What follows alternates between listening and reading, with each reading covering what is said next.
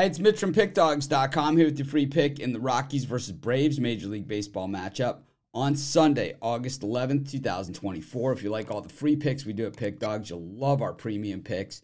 Those are our best bets. You can find them over at PickDawgz.com under the premium picks tab. Of course, uh, I also got a link in the description directly below this video. Make it nice and easy. Of course, uh, if you make big bets, $1,000 or more, you got a bankroll of $10,000 or more, then uh, text the number you see on the screen for our VIP packages. Of course, it's just a select portion of our audience that that's, you know, the right product for. Our regular premium picks are the most popular. I bet mine every day, even though I make big bets. And of course, we got more free picks than everyone at Pick Dawgz. But anyways, let's get to it. We got the Rockies taking on the Braves. And, uh, you know, the Braves really hobbling here down the stretch right now. I mean, it's it's a wild card maybe if they can turn things around in a hurry. Meanwhile, the Rockies just another season they would like to forget. And uh, while they certainly we see them you know rise to the occasion at times, this is a team that's 30 games plus under 500 at this point in the season. While the Braves barely hanging above 500 It's just such a such an odd thing. The Braves go with Schwellenbach in this one, and of course, this is all part of the issue. And he's not a horrible pitcher. I'm not saying that he's a problem or anything like that. What I'm saying is that you know he wasn't a guy that figured to be part of the rotation uh, coming into the season, and the Braves have just been hampered by injuries up and down the roster on both sides. You know, on the pitching and on position players. When you lose your best pitcher and your best position player in the same season, pretty tough. But the Braves have won four of Schwelly's last five starts. He comes in with a 4.04 ERA. He has allowed nine home runs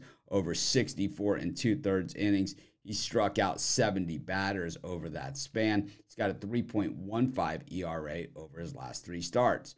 For the Rockies, it's uh, Kyle Freeland on the ball on the mound for this one. Freeland, of course, homegrown product for the for the Rockies, but in uh, you know he's from Colorado.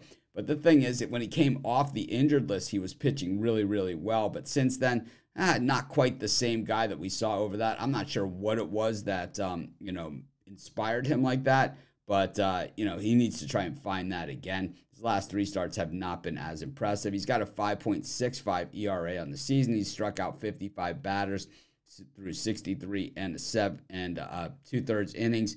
He's allowed nine home runs over the over the course of the year, but over his last three starts, it's a 5.74 ERA for Kyle Freeland.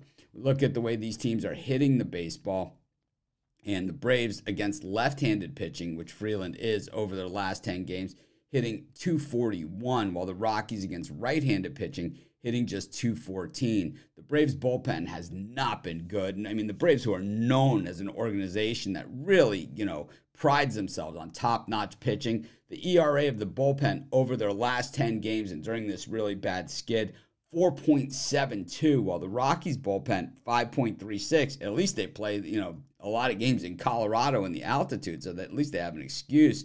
You know, I the Braves have dominated the Rockies over time, but they've been playing so poorly coming in. You know, the thing is, I think this is one that I think the Braves salvage one. I'm going to take the Braves, and that's going to be my free pick. Of course, while you're doing your picks, putting your bets in, use our betting tools at sportschatplace.com. 100% free, and they'll help put you on the most favorable bets on the board today.